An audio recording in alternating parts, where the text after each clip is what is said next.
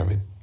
Just before I ask about the, the, position in the Conservative Party, obviously there's been some distinguished leaders of the Labour Party, um, uh, and including um, yourself, but others. Some, some undistinguished ones. They're called losers.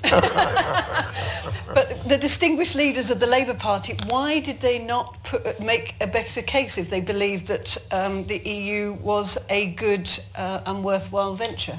Well, it kicked off with some doubt.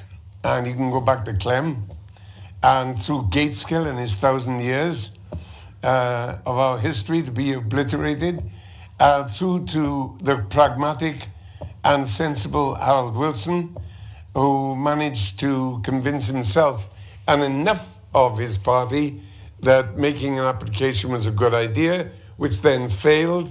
Uh, and then the tide ebbed and flowed, particularly influenced by people who should have known better.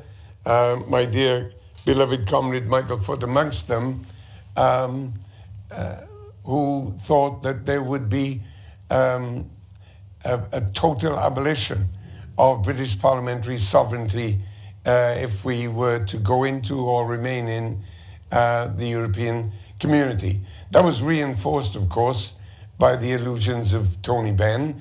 And so there had to be in the 1980s an act of internationalist recovery, which in policy terms we accomplished, uh, but in terms of soul, I'm not sure we ever secured.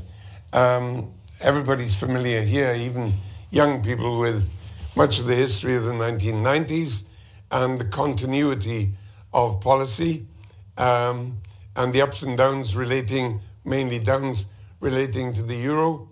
Uh, and then we get the readmission of conservative governments.